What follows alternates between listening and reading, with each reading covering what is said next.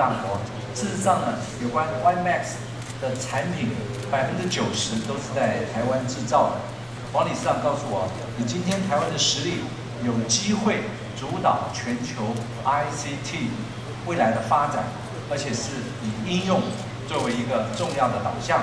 我们看到王理事长雄心勃勃，不外乎在 Time Magazine 这个评价全球的领袖人物，他排第二名，仅次于仅次于巴西总统卢拉，而且还超过了美国总统奥巴马，非常的让我们感到骄傲，跟列入这个英雄的。台东菜贩陈淑菊女士，同样的成为台湾之光，同时再给她一次热烈的掌声。实际上会知道 Computec 这个名字也是宏基的前董事长施正荣先生所取的。那我们政府的功能最重要的就是要提供发展的好的环境。我们这两年来，基本上打造一个能够让产业发展的好。